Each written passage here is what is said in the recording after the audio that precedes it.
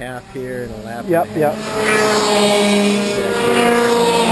I'm running out of energy too. I'm gonna do the last five laps and then Yeah, we should have done it earlier in the day. I'm I'm about toast too. I'm I'm like I'm like dying right now.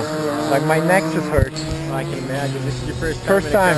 Yep. Yeah, yeah, it's- It's it's pretty scary, but it's fun. yeah. What kind of cars do you race? Uh, I, I race uh, junk cars, like lemons, 24 hours of lemons and oh, chump really? car. That's why I race. Yeah.